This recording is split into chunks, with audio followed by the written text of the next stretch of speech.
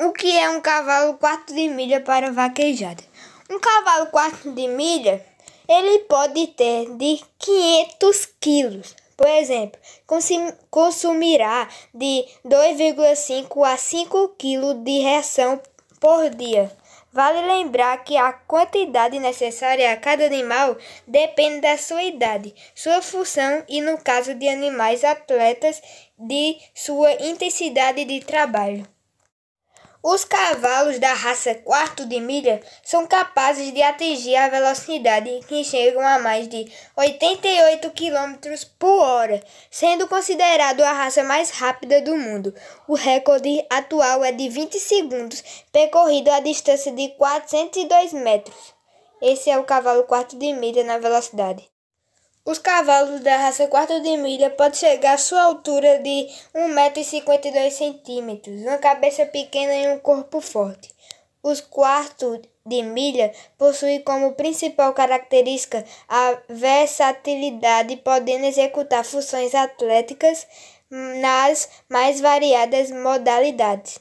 Então, a altura de um cavalo quarto de milha é de média de 1,50m e o peso de 500 kg um cavalo para correr, participar das provas de vaquejada, ele precisa ter o tapete, que é o forro. Precisa botar a sela. Também é, precisa do cloché, que eu vou botar aí o que é, que é para as patas de trás não bater nas patas de frente, para não acontecer algum acidente. Aí tem as caneleiras que botam na canela, para não machucar ou não bater. Tem a rédea, o freio e o peitoral para segurar a sela. Os cavalos quartos de milhas é a raça mais forte do mundo. É, eles têm músculos muito fortes. Mas eu tô falando aqui para vaquejada, não para outras modalidades. Mas nas outras modalidades também, e de todas as raças de cavalo, é o cavalo mais forte com mais músculos. No corpo de um cavalo, eles têm um casco, joelho, antebraço, codilho, braço, peito, ponta da espádua, garganta, lábio inferior, mento, lábio superior, na, focinho, narina, chanfro, bochecha, fronte, nuca, crina, cernelha, dorso, lombo, garupa, ponta da anca, nádega, virilha, soldrá, perna, jarreta, machinho, canela, boleta, quartela, abdômen, coxa, costado, espádua e pescoço. E é esse que tem no corpo de um cavalo.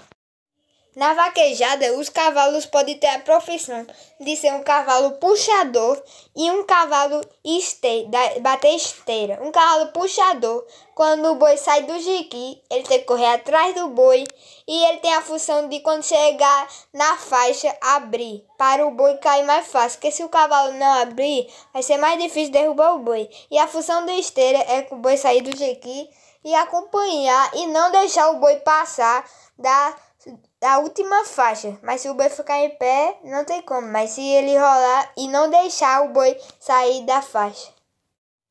E também não deixar o boi inclinado para o vaqueiro puxar o boi. As pelagens que tem dos cavalos quartos de milha são alazão, alazão tostado, zaino, tornilho, também tem baio amarillo, baio, tem pampa, tem pampa baio e também tem rosilho e entre outras pelagens. A lazão que é a principal, que é o que mais tem. E a pelagem tordilha é branca e cinza. Então, galera, esse foi o vídeo. Espero que tenham gostado.